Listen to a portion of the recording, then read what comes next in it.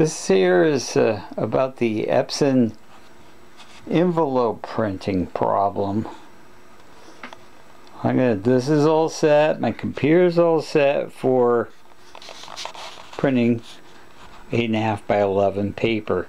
But I want to print an envelope, so I'm going to take these out. I'm over here somewhere. Grab a couple envelopes.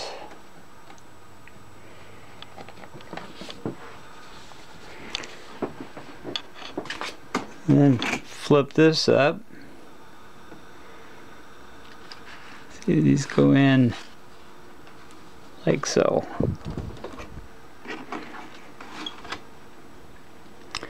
And I go into Word.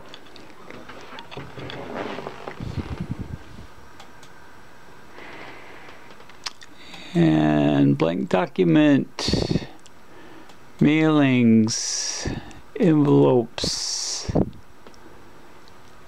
delivery address, get it all in there. Usually I just take it and make it a little bit bigger.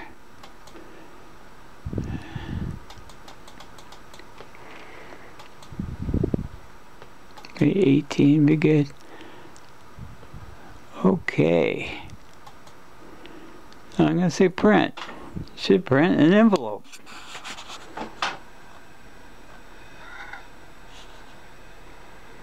Is it thinking about it or was it doing? No.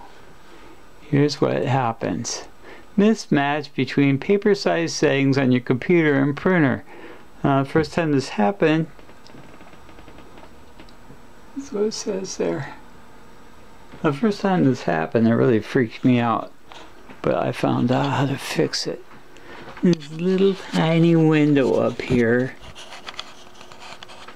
It says printing is suspended due to blah blah blah. And it says next is up. Say okay.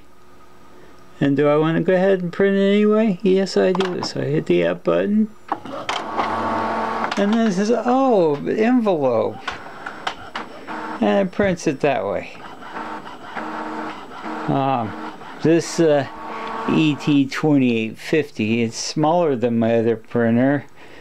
It scans a lot slower than my other printer, but it seems to print okay.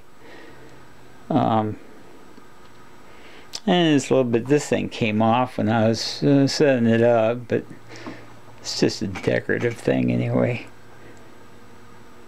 But I don't know, maybe I'm just not used to it. But there you go.